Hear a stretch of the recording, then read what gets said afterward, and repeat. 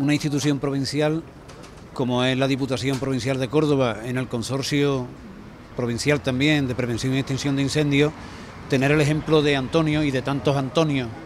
que desde el momento que ocurre eso lo que están es pidiendo salir cuanto antes, poniéndose a disposición precisamente en un servicio por si pueden rescatar a alguien con vida, es lo que justifica cuatro años de trabajo del gerente mío, de una Junta General y de todos los que estamos a disposición de personas que están siempre dispuestas no solamente a dar su vida en un siniestro, sino a ofrecer el cansancio que tiene ahora mismo él, que tiene su perro,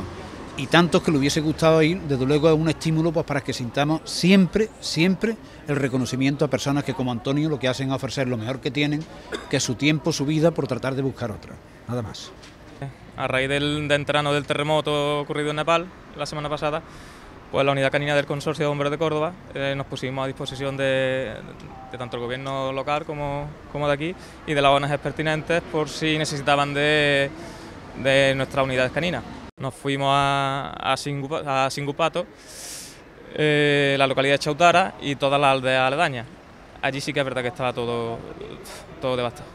Hemos hecho varias búsquedas con los perros en zonas donde, porque llevamos andando y la gente pues, iba diciendo dónde, dónde hacía falta o dónde no. Hemos buscado en varias casas, hemos hecho búsquedas en una aldea que se habían perdido dos niñas pequeñas que estaban jugando en la calle,